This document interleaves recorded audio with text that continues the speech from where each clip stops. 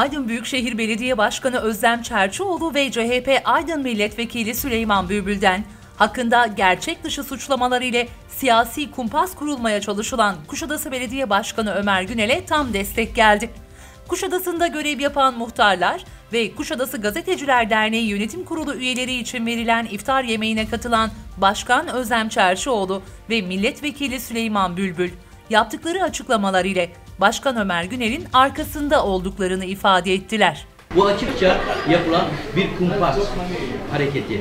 Ama Cumhuriyet Halk Partisi belediye başkanları bu itibarsızlaştırma kampanyasına karşı yaptıkları hizmetlerle, projeleriyle her zaman her zaman halkın yanında oldular ve olmaya devam edecekler. Başarılı bir belediye başkanımız var Ömer kardeşim. Bakın e, uyum içinde, Büyükşehir'le uyum içinde şu anda e, Kuşadası'na hizmet veriyor ve Cumhuriyet Halk Partisi olarak ben aynı zamanda Yüksek, yüksek Disiplin Kurulu üyesiyim. Genel merkezde çalışıyorum. Yanındayız, arkasındayız. Bu çalışmaların içinde e, ona destek veriyoruz. Bu kumpaslara izin vermeyeceğiz. Bu itiraz, itibarsızlaştırma e, operasyonlarına izin vermeyeceğiz. Biz belediye başkanlarımızın her zaman yanında olacağız. Bu çerçevede olaya bakmak lazım. Ee, biz başkanımızın elbette yanındayız.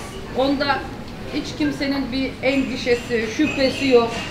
Cumhuriyet Halk Partisi de başkanımızın yanında. Aydın'ımızın milletvekilleri de Aynen. yanında ifade edildi zaten. Şunu da söylemek istiyorum. Bir basın mensubunun e, bu şekilde darp edilmesi de üzücü bir şey yani. Böyle bir şey de elbette doğru bulmuyorum. Darbe Ömer Günel sanki yaptırmış gibi Yok kardeşim belediye başkanı işi gücüm yok. Ya rica ederim sende. Olacak şey mi o? Sende. Yani bir belediye başkanı niye yapsın böyle bir şey? Benim için de söylediler. Çıktılar basına. Bir ay boyunca bilmiyor musunuz? Biliyorsunuz. Bundan 2-3 yıl önce.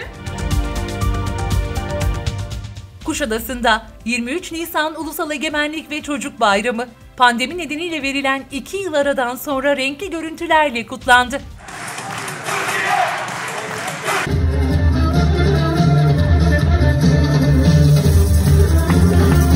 Kulak var kulak.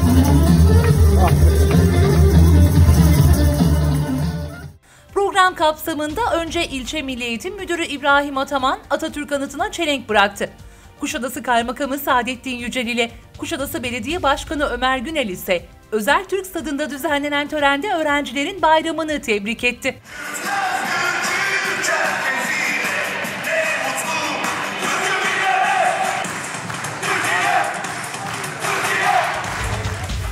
Kutlama etkinlikleri Kuşadası Belediyesi tarafından İsmail Cem Dostluk ve Barış Meydanı, Kaya Şalkay Meydanı ile Güzel Çamlı ve Davutlar mahallelerinde gerçekleştirilen çocuk şenlikleriyle sürdü. Atam, atam, Mustafa Kemal Paşam atam, atam, Mustafa Kemal Paşam milli zaferlerinle kuruldu yüce vatan çocuklara gençlere büyük armağan. Şenliklerde çocuklara pamuk şeker ve patlamış mısır, ailelere ise su ve soğuk içecek ikramında bulunuldu.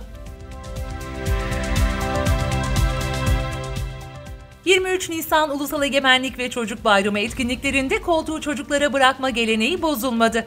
Bu kapsamda Kuşadası Belediye Başkanı Ömer Günel, Nermin Metin Akar Ortaokulu öğrencisi Cem Erel'i makamında misafir etti.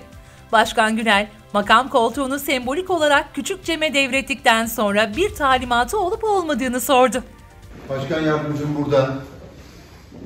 İstediğin herkese bu telefondan ulaşabilirsin. Kimi söylersen sekreterlerimize hemen bağlarlar. Ne talimat vermek istiyorsan hemen senin talimatlarını yerine getirmeye hazırlar. Hayvanlarla ilgili neler yapıyoruz bir kısaca anlatabilir misiniz? Ayrıca iki tane ambulansımız var.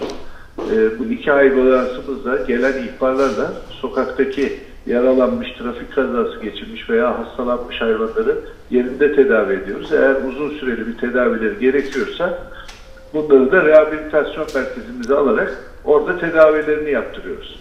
Küçük hediye al. Kabul eder misin? Al bakalım. Al bakalım.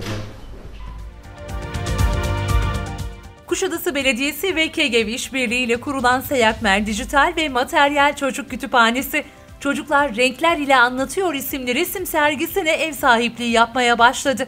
Kuşadası'nda öğrenim gören ilkokul öğrencilerinin çizdiği resimlerden oluşan serginin açılışı, Kuşadası Kaymakamı Saadettin Yücel, Kuşadası İlçe Milli Eğitim Müdürü İbrahim Ataman, Belediye Başkan Yardımcısı Seyfi Seyhan Süvari, KEGEV Başkanı Şefik Sözer ve KEGEV Yönetim Kurulu üyesi Kamil Aközlü tarafından yapıldı.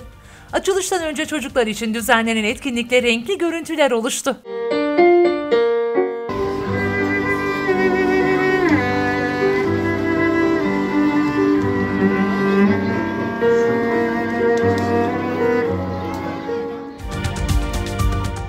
Hayvan dostu politikalarıyla tüm Türkiye'ye örnek olan Kuşadası Belediyesi, kompost teknolojisi kullanarak sokak hayvanları için mama üretimine başladı.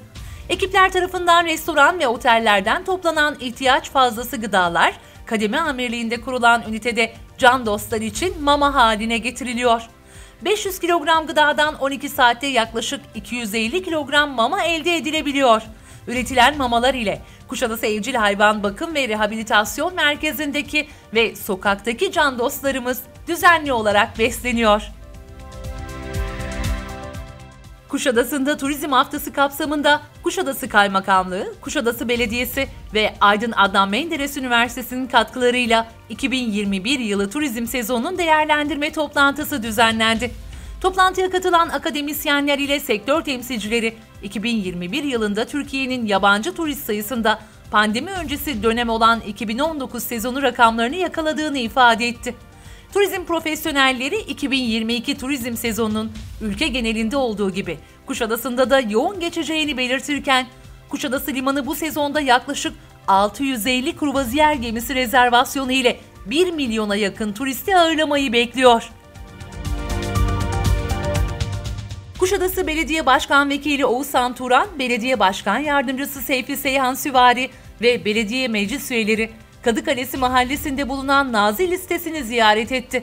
Vatandaşlardan da gelen talepler sonrasında sahil şeridinde Aydın Büyükşehir Belediyesi tarafından başlatılan bisiklet ve yürüyüş yolunu inceleyen Kuşadası Belediyesi yöneticileri ardından site sakinlerinin çalışmalarla ilgili sorularını yanıtladı. Kuşadası'nda annesiyle yürüyüşe çıkan Yıldız Ertan'ın ormanda bulduğu kaya sansarı yavrusu Aydın Doğa Koruma ve Milli Parklar Müdürlüğü tarafından koruma altına alındı. Annesi yanında olmayan ve bakım ihtiyacı bulunan yavru kaya sansarının Aydın Adnan Menderes Üniversitesi Veterinerlik Fakültesindeki rehabilitasyon sürecini tamamlamasının ardından doğaya salınacağı belirtildi.